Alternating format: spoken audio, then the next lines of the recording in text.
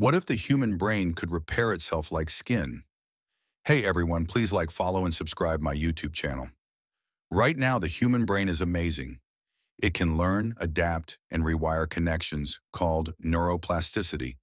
But when it comes to real physical repair, like healing after injury or stroke, it's not very good compared to other organs. What happens normally? When skin gets cut, new cells grow quickly to replace the damaged ones. But in the brain, neurons, nerve cells, rarely divide or regrow. Instead, damaged areas form scar tissue, called glial scars, which protects but also blocks healing. What if it could repair like skin? If the brain could regrow neurons like skin cells? 1.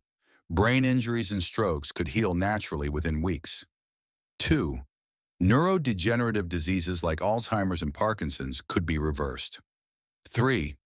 Memories and abilities lost in accidents might come back. 4. Humans could live with healthier brains for longer lifespans. Is it possible? Scientists are already working on it. Stem cell therapy, growing new neurons in damaged brain areas. Neurogenesis research, boosting the brain's natural ability to form new cells. Gene editing, CRISPR, turning glial cells into neuron-producing cells nanotech and AI, repairing microscopic damage at the cellular level. Some small breakthroughs have already happened in animals, so a self-healing brain might be possible in the future, though it's still science fiction.